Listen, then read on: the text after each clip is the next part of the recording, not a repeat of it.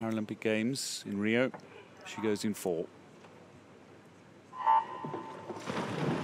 Two lengths of this pool. Now, Sophie Pascoe, how will she manage this race? No doubt has been in contact with her long-time coach, Roly Crichton, who, we must say, celebrated her fourth successive individual medley win in his hospital bed by eating chocolate cake, I am reliably informed, and he would have communicated with Sophie about this finish. Here she is, going out hard and looking to lead going into the 50. Yep, and Sophie Pascoe, she went out fast this morning. We expect that she's going to go out fast. Where Sophie Pascoe, though, has been struggling just a little bit is this second 50. Konkoly Tony Smith, Elizabeth Smith, all of them, uh, Toni Shaw and Elizabeth Smith, they're going to be really fast coming into the second 50 coming home. They have unbelievable closing speed. Zsofia Konkoly in particular, so too Elizabeth Smith, and indeed the Sarai Gascon has got some closing speed.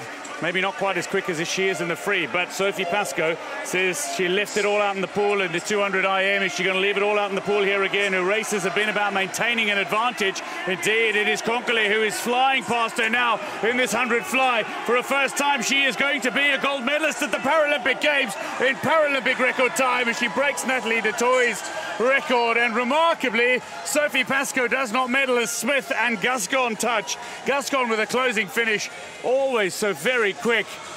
But this was set to be the gold medal race for Konkoly. And she's come home and stunned all.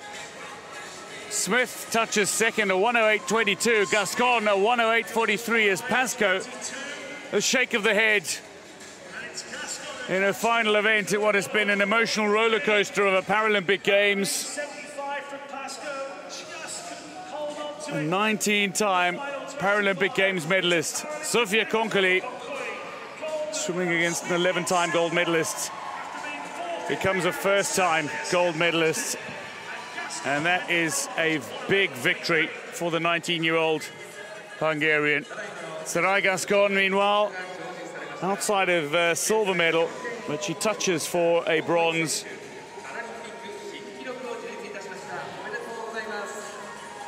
Now, coming off the start, Gascon had a quick start coming off, and Pascoe also, she went out very hard during this first 50, as we knew that she would. But Konkoly, wow, did Konkoly close here? You know, we've seen her close on the 400, she closed on the 200 IM, and she did it again during the 100 butterfly. Here, going into the first 50, it was Pascoe with a huge lead at this 50 mark. She even had, you know, a, a pretty good turn, but Konkoly coming home, she just flew down that last 25 meters. She went right past her. And here at the bottom of the screen, too, is Elizabeth Smith and even Gascon getting right in there, going right past Pascoe at the end for second and third. Now, Konkoly She's been second a lot, but finally she got to gold. She's got to be really happy with that one. Uh, uh, well, when she, at 14 years old, touched for bronze in the 100 fly in Rio, thought she was going to absolutely take off. And indeed, she has begun to fly. In this 100 fly, she is on top of the world right now. She's the Paralympic Games champion. Zsofia Konkoly of Hungary is the champion in Paralympic record timer 106.55 as she breaks Natalie du Toit's long-standing record. Elizabeth Smith of the United States, that's a good 108.22 silver medal for her, just outside of Sarai Gascon with a 108.43. Toni Shaw touching fourth. Sophie Pascoe finishing fifth in this race.